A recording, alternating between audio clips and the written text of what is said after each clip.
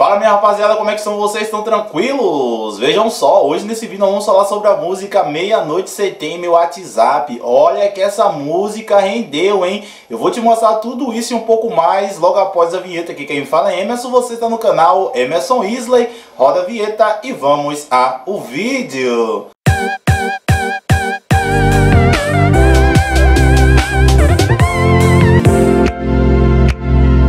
Pois é, minha rapaziada, antes de ir ao vídeo, eu gostaria de pedir para você que está chegando aqui agora no canal, primeiramente seja bem-vindo, não esqueça de se inscrever no nosso canal, ativar o sininho de notificações e deixar o seu like, que é para você ser lembrado toda vez que eu postar vídeo novo aqui no canal quase todos os dias está tendo vídeo novo aqui, então é muito bom você se inscrever e ativar o sininho, que é para você não perder absolutamente nada. Hoje nós vamos falar sobre a música Meia-Noite Você Tem Meu WhatsApp. Rapaziada, essa música fez sucesso com tantos cantores que nós hoje não sabemos nem quem é o dono da exclusividade ou quem tem a liberação dessa música. Mas antes de mais nada, eu gostaria de mandar um abraço meu parceiro Zé Maiado, o rei da canetada. Cara, esse cara é muito bom e merecia ganhar o título de melhor composição do Nordeste do ano de 2021. Desse ano que nós estamos dizendo, porque eu acho que vai ser impossível existir uma música neste pique. Pois é, rapaziada, para nós começarmos a falarmos sobre essa música, nós temos que voltar lá no início. A música Meia-Noite Você Tem Meu WhatsApp, onde segundo é o Dão do Forró Largado,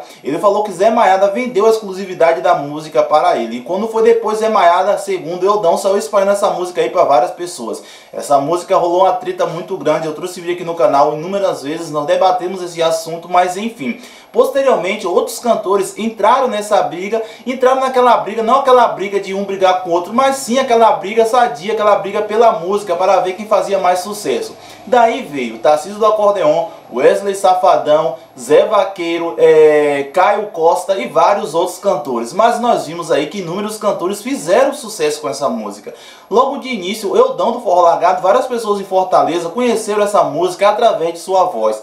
Posteriormente, algumas pessoas passaram a conhecer essa música na voz de Tarcísio do Acordeon. Logo no início, quando Tarcísio do Acordeon gravou essa música, a música não fez tão sucesso, mas foi passando o tempo, a música começou a fazer sucesso ali e aqui, e hoje a música é sucesso de nível nacional, que alcançou o primeiro lugar do Spotify Brasil na voz dele. Cara, aqui pra nós, essa música é excelente. E voltando ao assunto, posteriormente também quem gravou essa música foi o Wesley Safadão. Wesley Safadão fez algum barulho, até pelo seu nome ser muito grande, várias pessoas ouviram essa música em sua voz, mas não deu muito certo. Algumas pessoas gostaram, outras pessoas não gostaram. Daí veio outro cantor que gravou essa música também, que foi Zé Vaqueiro. Cara, Zé Vaqueiro também fez um grande sucesso com essa música e até hoje também ele ainda faz sucesso com essa música. É tanto que algumas pessoas acham que essa música é de Zé Vaqueiro, outras pessoas acham que essa música é de Tarcísio do Acordeon. Daí também veio outro cantor que gravou essa música também, que foi o próprio Zé Malhada. Zé Malhada, que é o compositor, ele também gravou um videoclipe oficial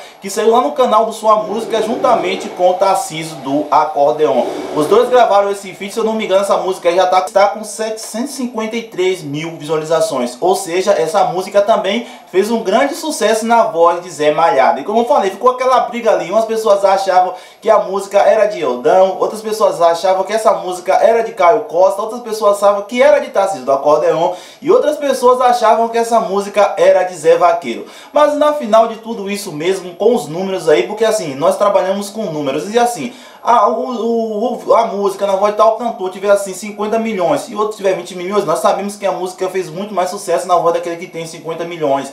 E na voz Tarcísio do, do acordeon, sem sombra de dúvidas, essa música foi que fez mais sucesso foi lá na voz dele. E voltando ao assunto, não é que teve outro cantor que depois de 3 ou 4 meses está fazendo sucesso com essa música?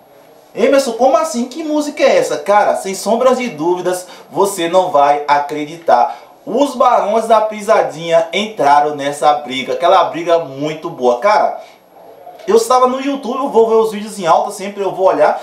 E quando eu vou olhar, os Barões da Pisadinha estavam terceiro em alta aqui no YouTube com a música Meia-Noite Você Tem Meu WhatsApp no momento que eu estou fazendo este vídeo. Eu fiquei assim, impressionado, cara, como essa música é tão boa que na voz de vários cantores fizeram sucesso. E assim, rapaziada, e é mais que nítido, porque tipo assim, a música é tão boa, a melodia da música, que você vê um cantor que, nossa, essa música é top. Então você vai no barzinho, você vê a música, algum cantor lá tocando lá no teclado essa música, você, nossa, velho, essa música é mais sucesso com qualquer cantor. E com os barões da pisadinha não foi diferente. No momento que eu estou fazendo esse vídeo, a música já está batendo marca de mais de um milhão de visualizações.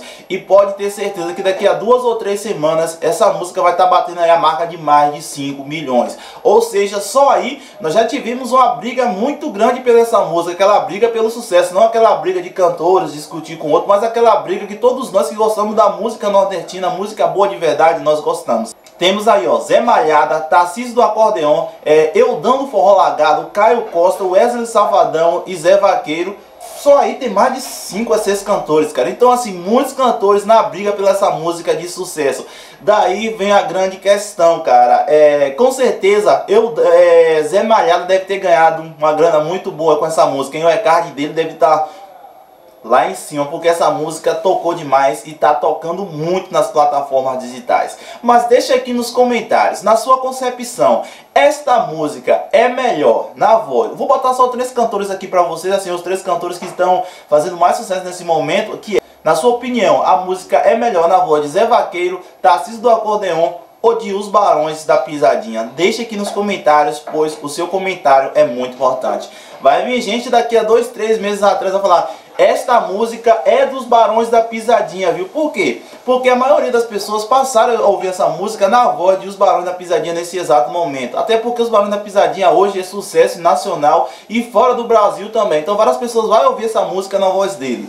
E haver outras pessoas vão dizer, não, essa música é de Tarcísio do Acordeão, porque Tarcísio do Acordeão é que está fazendo mais sucesso com essa música, o cara está estourado e a música é dele vai vir outras pessoas e vai falar esta música é de Zé Vaqueiro, principalmente os fãs dele, porque assim, várias pessoas gostam mesmo da voz de Zé Vaqueiro, já vai vir outras pessoas vão falar essa música é de Eudão do Forró Largado, aquelas pessoas que ouviram aquela música há um ano atrás, falar essa música é de Eudão do Forró Largado, então assim, essa briga tá muito top, com certeza essa música vai fazer muito mais sucesso ainda. Mas enfim, deixa aqui nos comentários o que é que você acha da música Meia-Noite CT meu WhatsApp. Gente, muito obrigado, se você gostaria de obter um conteúdo extra, é só me seguir no meu Instagram que é arroba Emerson Isla. Eu te espero lá e tamo junto.